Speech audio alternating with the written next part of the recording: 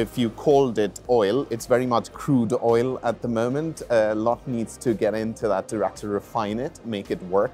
You still need to build the cars and the roads and the infrastructure and, and find ways of uh, exploiting that crude oil. And I don't believe we are there just yet. I think there are some pockets of large organizations and some fintechs that managed to get there, some parts of academia as well.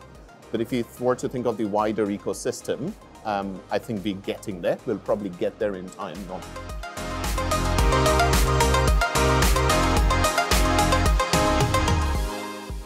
I often compare this to global warming. People are by and large aware of it, but that doesn't necessarily mean people are changing their habits as quickly as they probably need to. Um, I think the reality is quite a lot of the data, we don't need to be worried about personality privacy concerns at all.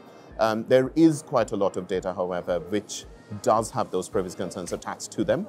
Um, I think we human beings are quite far behind in terms of being able to uh, appreciate all those risks and what it means to us individuals and personal liberties.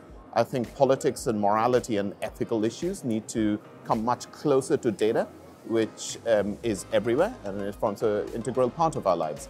Um, but I think a lot, many more conversations need to happen around that space. And I do expect over the next 10, 15 years, it will become a lot more topical um, in the UK and Europe and, and, broader. We've already seen some regulations, GDPR and others, which I support. I think is the right way to go. Um, and I would, uh, we've also seen some changes in California recently, and I'd expect more of that to happen.